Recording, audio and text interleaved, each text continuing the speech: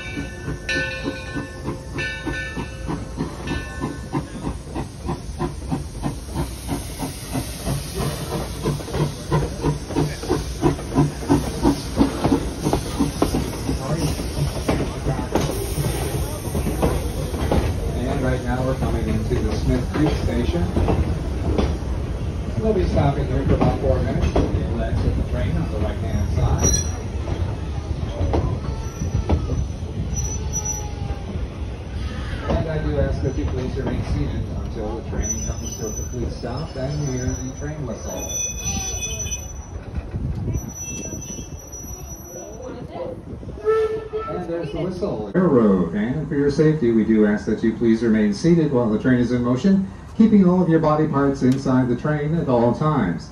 And please, no eating or drinking except for water. And if you do have little ones with you, we do ask that the adults please sit at the end of the row if that's not practical, and please make sure the kids are held or are easily within your reach. Thank you. Uh, 728 to 808. Torch Lake, highball.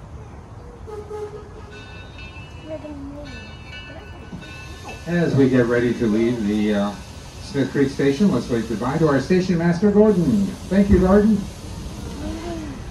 And we're now moving into the Railroad Junction District here at Greenfield Village. And the first building you can see here is the Smith Creek Depot Building. This was built back in uh, 1858 and was located in Smith Creek, Michigan, which is roughly eight and a half miles southwest of Port Huron. And it was on the Grand Trunk Railroad line that ran between Detroit and Port Huron. Now this is a typical small town depot building, and that means half the building is residential, that's where the station master lives with his family. The other half is open to the public, that's where you go in and buy your tickets for the train.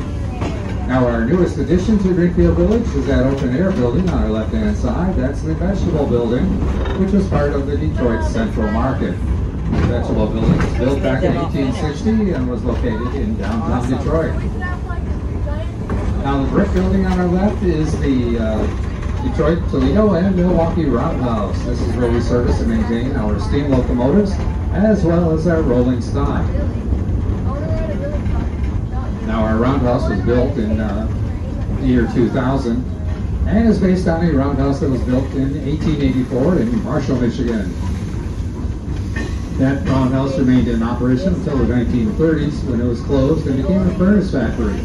But ultimately, the building was torn down, but we were able to secure some of the parts from that building along with the, the uh, blueprints, and we used that in constructing our roundhouse here at the village.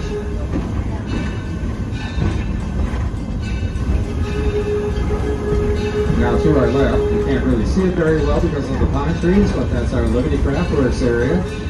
And this is where we have skilled artisans who do such things as glass blowing, pottery making, weaving, and printing.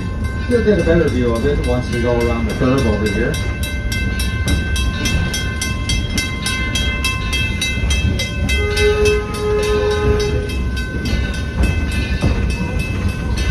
And we're now moving into the uh, working farm district. We have seven acres here that we plow and plant every year, growing such things as field corn, winter wheat, rye, and hay. Right now on the right-hand side is a small orchard featuring heirloom apples. And up ahead on the right is the Firestone Farmhouse and the Firestone Barn. The farmhouse was built in 1828 and is located in Columbiana, Ohio. That's the birthplace of Harvey Firestone. Harvey went on to create the Firestone Tire Rubber Company in 1901. And he and Henry Ford became very good friends as uh, Firestone supplied many of the tires that were used on Henry Ford's Model Ts.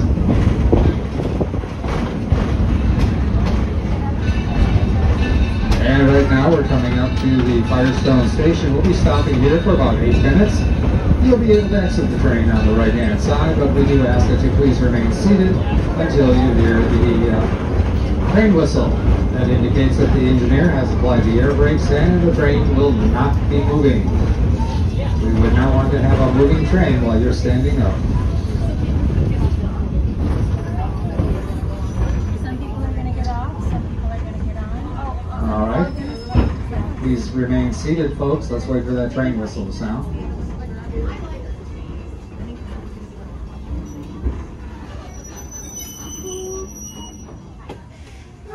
And there.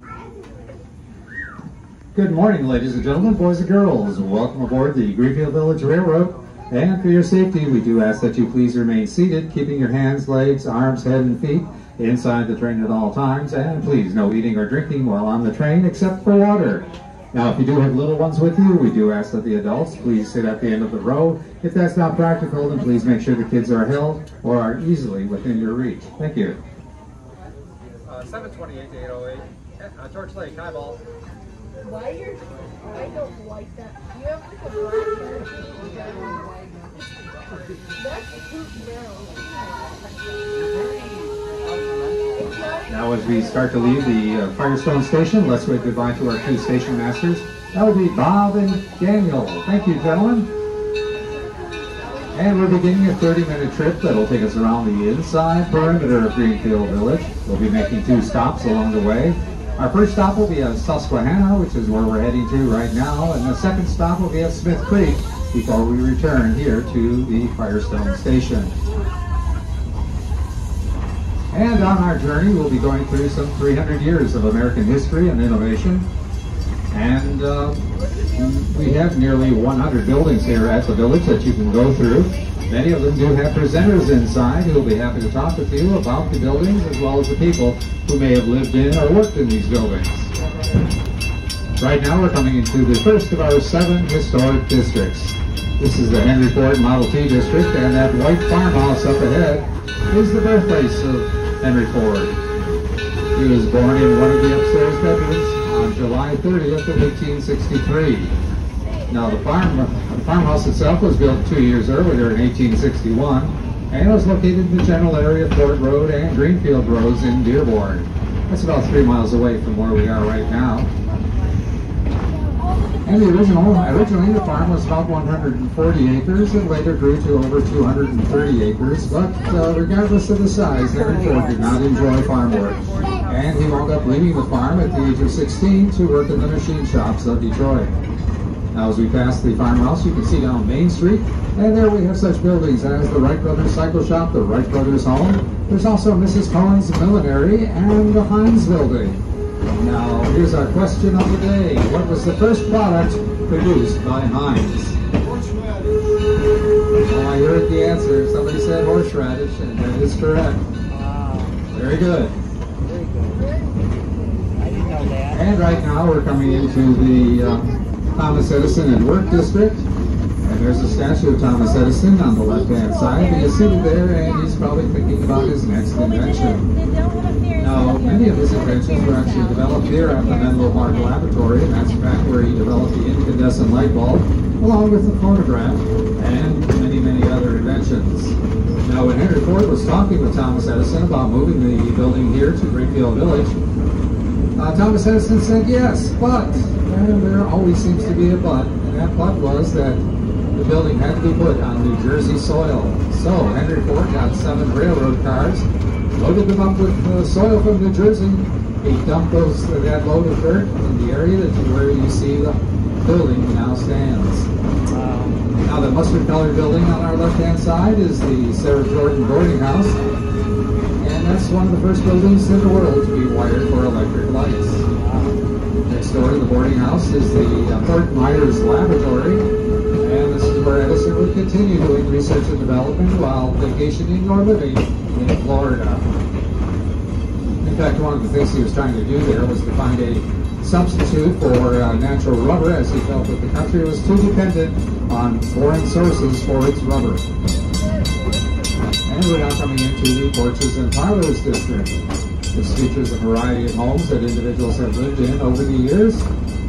And uh, these buildings will give you some ideas about the lifestyles and traditions of those who lived in them, as well as the times in which they I've lived. gone in those. And right now we're passing the uh, Ackley Covered Bridge. This was built back in 1832 and was located in southwest Pennsylvania. Wow. Now, the oldest building in the village is the Cotswold Cottage. It's that limestone building at the top of the hill on our left-hand side. It was built in the early 1600s in England, and Henry Ford and his wife Clara were on the lookout for a building that they could actually purchase like this. And one of their agents found this building. It's called the Rose Cottage, and Henry Ford bought it, had it taken apart, and then reassembled here in Greenfield Village. Right now, we're coming into our Susquehanna station. We'll be stopping here for four minutes. You'll be able to exit on the left-hand side of the train, but please remain seated until you hear the train whistle. And there's the list. Good morning, ladies and gentlemen, boys and girls, and welcome aboard the Greenfield Village Railroad. And for your safety, we do ask that you please remain seated while the train is in motion, keeping all of your body parts inside the train.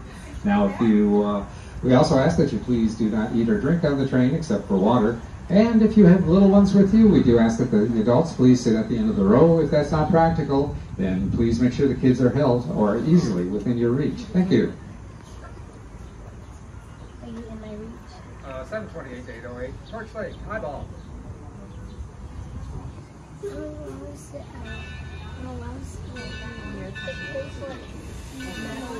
As we leave the Susquehanna station, let's wave goodbye to Mike, our station master. Thank you, Mike. Thank you, Mike. And we're now moving further into the porches and parlors district. And this large white building on our left-hand side is the Susquehanna Plantation House. This was built in 1835 and was located in the Tidewater region of Maryland. It was part of a seven, part of a 700-acre plantation that grew wheat, corn, and tobacco. Now, the oldest American-made home here is that reddish-colored one. It's the Plimpton family home. This was built in uh, 1640 in South Sudbury, Massachusetts. And if you can believe it, uh, there were two adults and seven children living in this one-room building. And here comes the Farris windmill. This was built in the mid 1600s on the north shore of Cape Cod. Behind that is the Daggett Farmhouse. This was built in 1754 in Coventry, Connecticut. And it's an example of what rural living in colonial America was like. And we do have presenters inside who will be happy to talk with you about those early days, early colonial days.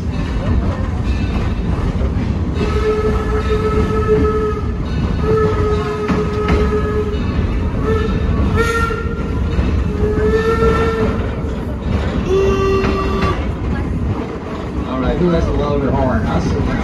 I think we do. Anyway, we're now uh, uh, passing on our left-hand side the um, horse paddock area. This is where we bring our horses after they've been pulling wagons and carriages all day. They have a chance to rest and recover over in this area and get ready for the next time they have to go to work. And this is though all of the horses are in the barn area at the moment.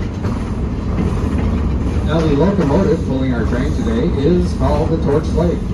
It's also the oldest regularly operating steam locomotive in the United States.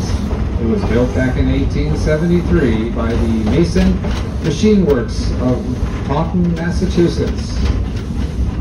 Now, this uh, locomotive was originally used by the Calumet and Hecla Mining Company in Michigan's Upper Peninsula.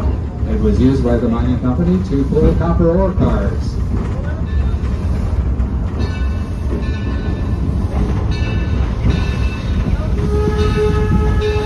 Now, the uh, locomotive weighs in at 35 tons.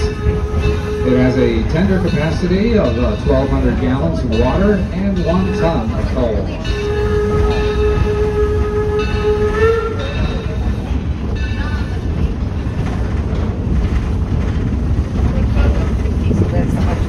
And now I'm going to uh, suggest you want to sit back and relax, enjoy the ride. And I'm going to stop talking for a couple of minutes and let you enjoy the ride. Fact, you might want to try to imagine what it may have been like back in the late 1800s and early 1900s to ride the train with a steam-powered locomotive pulling the train.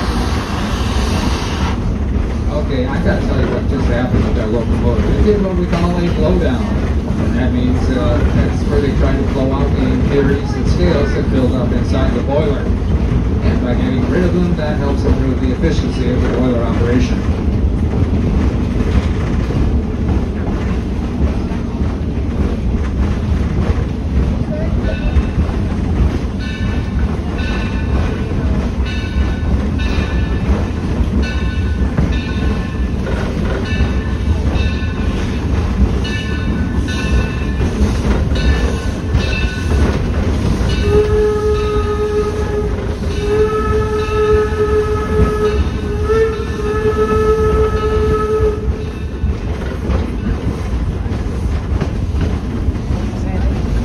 And right now we're coming into the Oxbow area. This is an 11 acre wetlands restoration area. Now the largest of its kind here in southeastern Michigan. And here the uh, Henry Ford, along with state and local units of government, were working to restore the Rouge River to its natural condition. And you can see the river on the side below us. And it does have natural river banks. And we just, the locomotive just did another blowdown. Now, not too far from here, the Rouge River actually has a cement bottom and cement sides. That was done for flood control purposes, but here everything is natural. Now we do have a small herd of deer in this area, along with raccoons, possums, squirrels, perhaps even a fox, uh, turkeys. We have turkeys over here somewhere. Looks like they're all hiding right now. And we're now coming into the Walnut Grove. This is our special event field that we use during the summer for such things as historic baseball. In fact, you can see the markings of a baseball diamond over here on the left-hand side. And that's where our two vintage baseball teams play on Saturdays and Sundays at 1.30. The Lah-De-Dahs and the Nationals take on other teams from other areas of Michigan as well as the Midwest, and they play historic baseball. In other words, they rely on rules written back in the 1860s. And one thing those rules will tell you is that fielder liked to do cannot use a baseball glove. He must catch the ball with his bare hands. Oh my goodness, they have to catch the balls and do it. Now up ahead here is the Henry Ford Academy. This is a public charter school that's open to students who live in Wayne County, Michigan. Students are selected by lottery, and we have about 500 students who attend the school during set when school is in session in grades 9 through 12. Now the ninth graders actually have their classes over at the Henry Ford Museum of American Innovation, but the 10th, 11th, and 12th graders have their classes in this area. Now, as we go around the curve up here on the left-hand side, you'll see a large boulder that has been painted blue. That contains the names of all of our recently graduated high school seniors. Now, up ahead is the is the uh, rather unique set of classrooms. That's what it is. These are Pullman cars that have been converted into classrooms, and they're used by our seniors.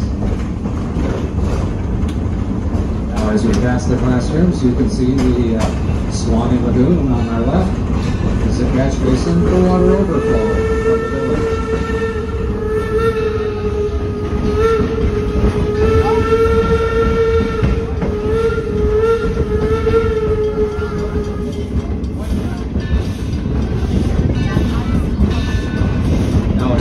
you'll often see turtles basking in the sunshine on many longer branch that's floating in the lagoon. And we have one uh, turtle in particular that is worthy of mention. He's a snapping turtle, and he's as large as a garbage can lid. And we call him Godzilla.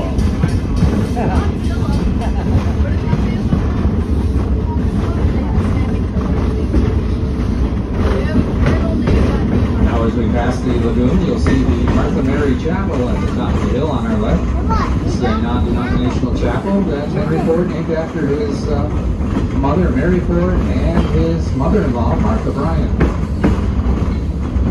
Now this is a popular wedding venue, I should point that out, in the village.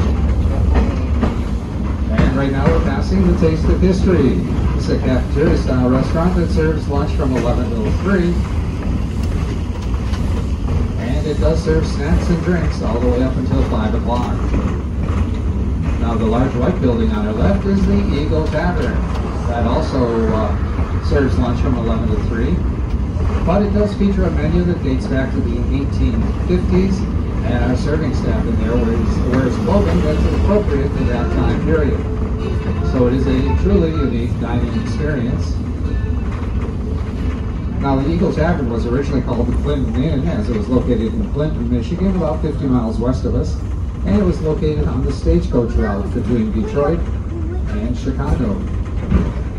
And right now, we're coming up to our Firestone station, or I'm sorry, we'll be coming up to our Smith Creek station.